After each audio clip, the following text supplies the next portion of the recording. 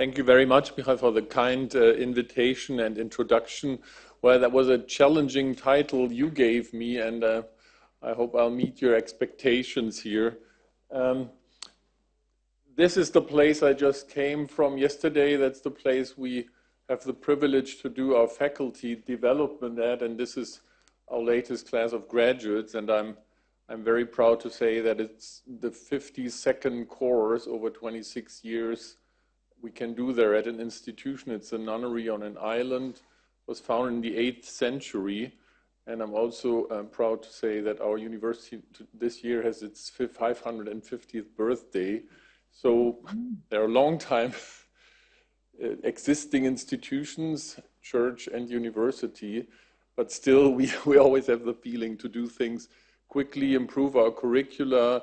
And I personally believe I have 10 more years to go, that it's one more round of curricular change I could really try to manage in my role of the Dean of Studies. I'm really grateful that we um, heard about the Jagiellonian University example, the Canadian framework perspective. We learned a lot from that and try to adapt that to our German national level leads and also the World Federation perspective on Europe.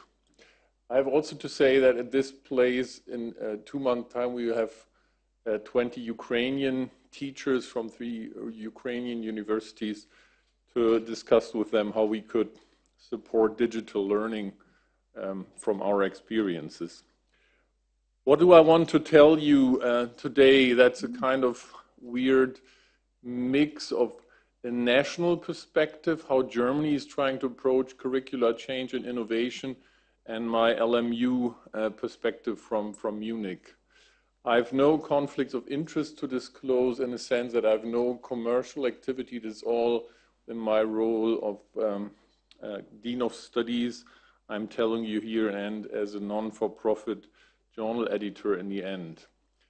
Um, curriculum is about patients, about students and about teachers. It's about learning, teaching and assessment. Constructive alignment has been uh, mentioned. So here you see some pictures from our school um, with patients, with simulated patients, with models, discussion between teacher and student, and also um, assessment through um, digital means. So everything we do with cognitive assessment is um, uh, with tablets now, and even during the pandemic, we uh, were able to keep up this, this approach.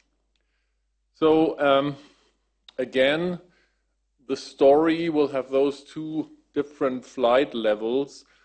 We are in the midst of a complex route to curriculum reform in Germany as a country. Um, we expect a major new legislation, legislation for 2026, and uh, we are preparing for that. And on the other hand, we have a large diversity of schools with different contextual factors and different ways of tackling curricular challenges. And I want to tell you some of those impressions from the LMU uh, perspective. Um, this picture is just the idea that it's a teamwork and not everybody is looking in the same direction. And it's a real difficult challenge between the subject experts that all have different perspectives and overarching concepts like clinical reasoning, where we're discussing earlier how to integrate those. And um, sometimes the leaders are not fully visible here. And uh, sometimes those who give the rhythm of change here, uh, as I said, look into the wrong direction. By the way, we won the race against our technical university in Munich. Very important site here. Um, German uh, medical education, in a nutshell, for those who don't know the context we are talking about, we have 39 medical faculties, mostly public, but there's a major dynamic with new public schools being founded, like Augsburg, um, for example, um, and also a couple of so-called private faculties with different European um, home bases and connections That's very interesting. And also we have a number of clinical campuses being founded and created in relation to classical public schools. We have a six-year curriculum and it's mostly traditionally organized with two years of preclinical and three years of clinical studies and then the final sixth year is kind of a sub-internship. Um, and there is a federal regulation, ärztliche Approbationsordnung. Still, within this regulation, there are some um, integrated curricula, but there are national exams, um, oral and written in an MCQ format, and still I have to say they are not carried out these MCQ questions in digital format, which is astonishing, I think. Maybe we discuss assessment strategies for the future. Um, the number of, of uh, faculties that use an integrated approach across preclinical and clinical years is growing every year. Augsburg is one of the examples. There are many more, and I think 12 is even too low nowadays. I, I don't even know how many are coming into this, um, this group of integrated curricula schools, and this kind of uh, tells us from a traditional approach like, like LMU Munich where we will have to go. And um, that's the 2026 thing, one of the major challenges. We have around 11,000 graduates per year in Germany, and politicians say we need more. It's not enough. I don't know whether this is true because I think delegation and substitution of work with other health professions is also an issue. Physician assistants are coming up also in, in, in Germany it's a big debate. More physicians is always good, but it's very expensive and very challenging to do that. Maybe we can discuss that. LMU is a special case. It's a very large school, 950 preclinical students per year, 550 clinical, and we give the others to the Technical University in Munich, a wonderful school as well. Um, I'm very grateful that Andrei Kononowicz used this model, the six or even seven step uh, curriculum development model from Kern. We use that as well, and I want to use this uh, to, to structure my talk a little bit, and I will give you some glimpses and ideas from the two different flight levels, German National Curricular Change and Development Perspective and LMU, at least through the steps one to six. So general needs assessment. um, renovation has to be has to be done. In summary, I think we have a rapidly aging population as a major challenge, shortage of physicians, especially in rural areas, big challenge, over and under treatment issues, same disease in Munich, very different from some rural area. Um, as I mentioned, lack of delegation, substitution of responsibilities and interprofessional teams, um, digital healthcare and all its consequences, we are not very fast with that in Germany. And then a very new and dramatic challenge has been around for years, but now it's very, very clear we need to act as the sustainability issue, and our students really urge us to put that into our curriculum, um, One Health and planetary health uh, topics. So um, needs of our targeted learners, the medical students, um, and that has been supported by the government in 2017. It's already five years ago. It's called Master Plan Medical Education 2020. Very slow process. Strengthening general practice in training in every curriculum in Germany, strengthening interprofessional education, strengthening scientific reasoning competencies for better practice, with respect to evidence-based medicine, I think clinical reasoning is a special case of good scientific reasoning from my perspective. So there are some general principles, and I would challenge the context specificity. I think there is some general approach to good argumentation, and there's research on that. But I like this debate with Steve and others. Um, then we want a more diverse student population to be admitted to medical schools, not only high school graduates with good grades, but people with professional backgrounds uh, from the healthcare uh, system. um, and that's also achieved by, by specific measures of quota for these groups. Then the digital health, health challenge is, is very important at all levels, and the planetary health uh, issues have come in addition to the other topics after this master plan has been published. Excuse me, learning goals and objectives. We learned a lot from the Canadians. We also learned from the Swiss. Thanks for referring to the profiles. And we are in the midst of, of hopefully finalizing the second version of our, and it's called National Competency Based Catalog of Learning Objectives. We heard about those wonderful definitions, and I try in a very condensed way to tell you about this process. Um, this is a picture from happy times many years ago. We started in 2009 and trying to dwell on the Canadian, the UK, the Scottish, the Swiss, Swiss and uh, Dutch uh, catalogs. And um, that's uh, a publication from national experts to give us advice on how to use this kind of a um, competency uh, and Learning Objectives National Framework. Um, I have to tell you that our German approach is very thorough, but it led to a product that's unusable. It's a 350 pages document, and the reduction of what has to be taken out is an eternal and constant struggle, and hundreds of experts from all the scientific associations, including surgery, are fighting still, and, and still uh, it's unclear how we can boil that down. I think the profiles way the Swiss showed us is interesting, but there's hope, and this is a busy slide.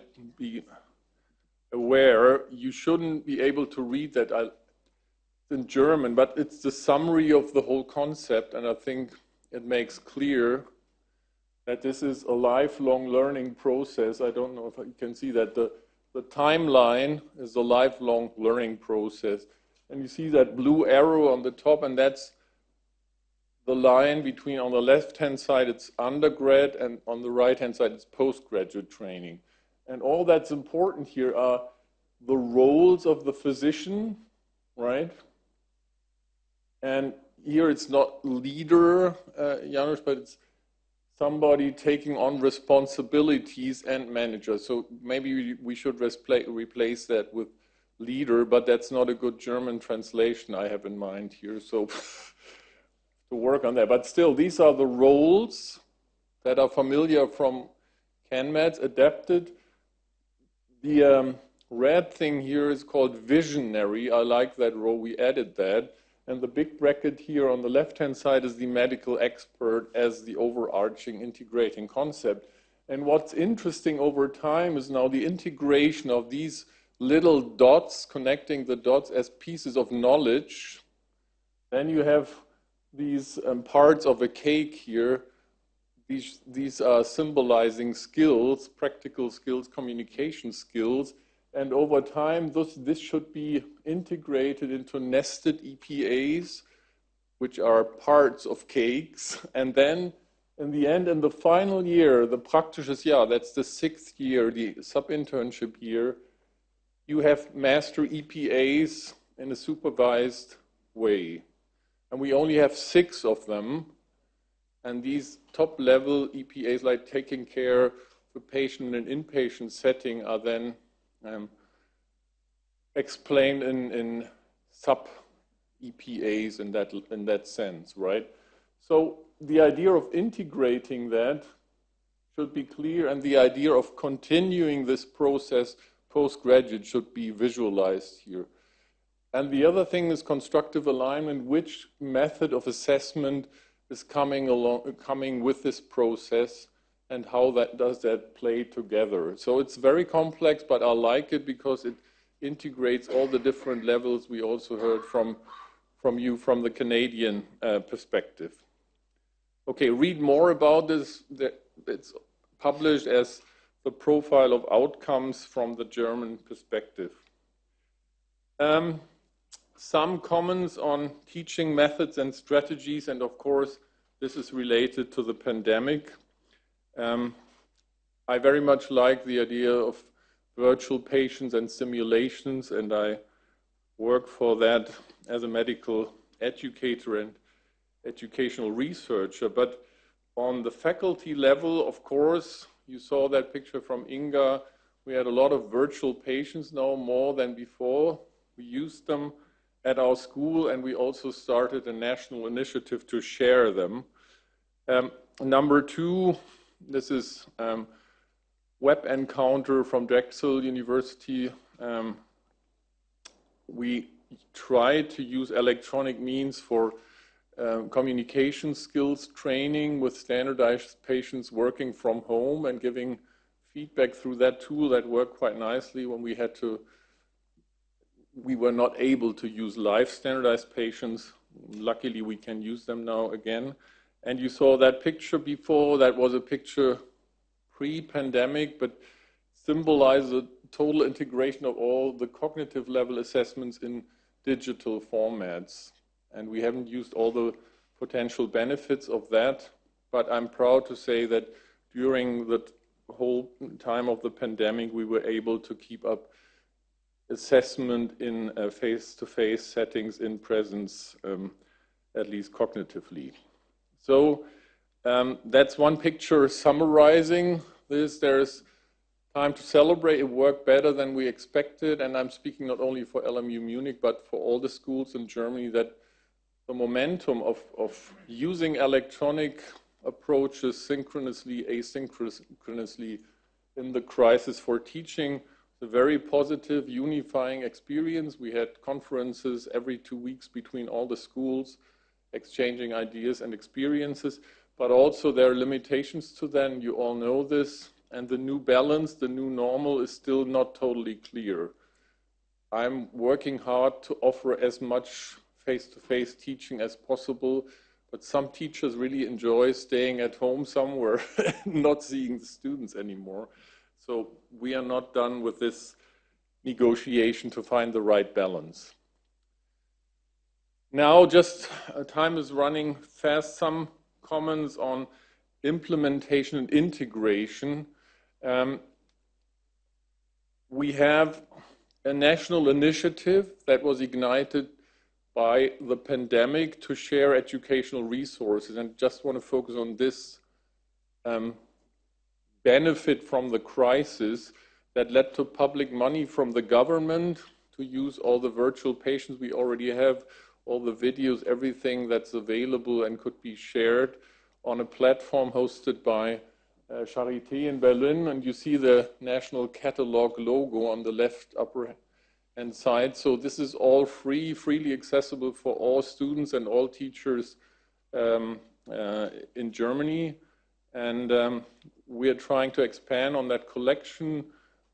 We had money to improve our virtual patients, and now we share these uh, resources, especially the virtual patient, with three Ukrainian universities, as Inga said before, in a nationally uh, funded project and translate them. And hopefully um, this movement will continue and we'll share more resources in the future. Um, now, evaluation and feedback. Um, I think it's very hard to have good studies going with major curricular, curricular reform. It's really important to formulate uh, research questions that are not um, methodologically fraught. So I want to cite Geoff Norman here with his, I think, sometimes very ironical approach. Maybe you know this commentary from uh, 2003 that it's really hard to scientifically compare different curricular approaches. And the question you asked in the, in the beginning, why should we do, is, is change really necessary, uh, is the key question. So, of course, this is driven by enthusiasm, but also by ownership. And Geoff said, I, you cannot tell me if this is better or not.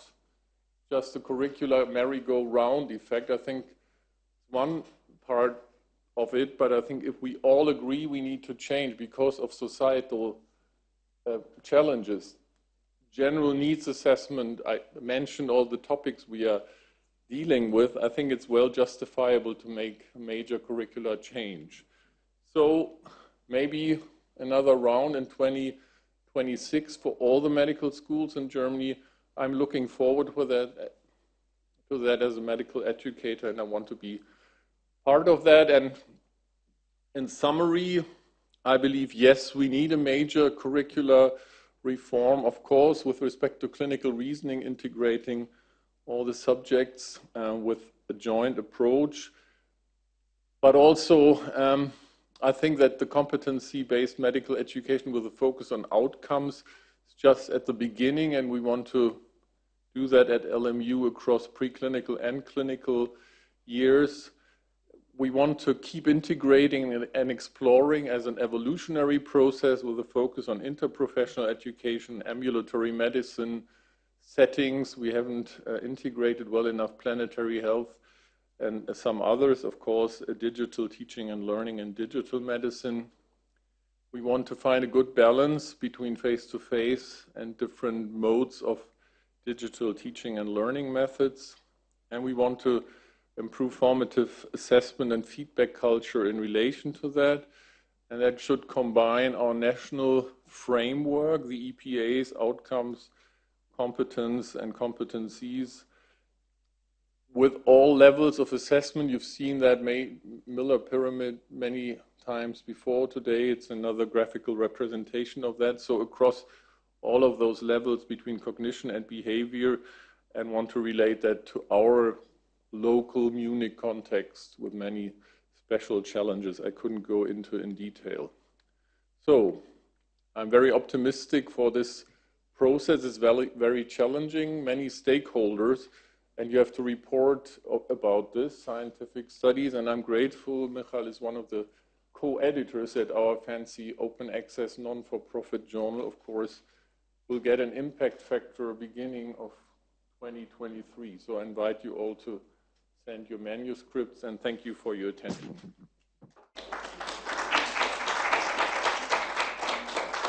Martin, congratulations on uh, great work, uh, not only at LMU, but also at uh, bringing yet another journal to medical education uh, community, which is, well, it was yeah, you, you, told me Polish people don't publish there because there is no impact factor. Now you have no excuses. Well, that's absolutely correct, and I'm quite sure there are some papers on the way already. uh, uh, but uh, anyway, it's really, really important that there is one more journal where we can publish because there is uh, very few uh, of those, and uh, actually, this is a big problem, at least for us.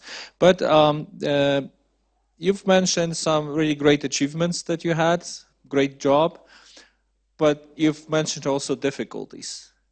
Would you? Yes, you'd, you'd, well as always. Uh, would there be anything different in the process? Something you would be doing you you would do differently uh, now from that perspective, considering your your problems on the way.